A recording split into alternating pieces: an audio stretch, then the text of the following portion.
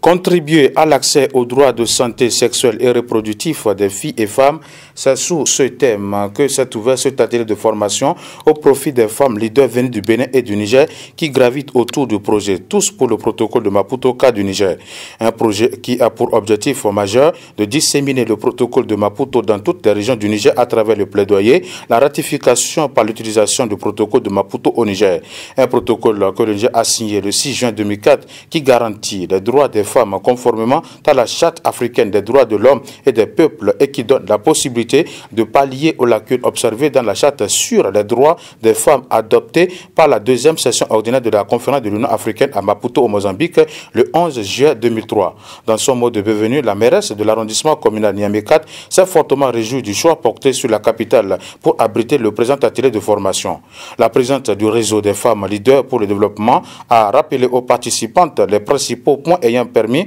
aux femmes de reconnaître leurs droits consignés dans ce protocole dit de Maputo. Il s'agit entre autres de l'élimination de la discrimination à l'égard des femmes, le droit à la dignité, le droit à la vie, à l'intégrité et à la sécurité, l'élimination des pratiques néfastes, le droit à la participation au processus politique et à la prise de décision, la protection des femmes dans les conflits armés, le droit à l'éducation et à la formation, droit à la sécurité alimentaire, droit à un habitat adéquat, droit de la veuve, droit de succession, droit de protection spéciale des femmes âgées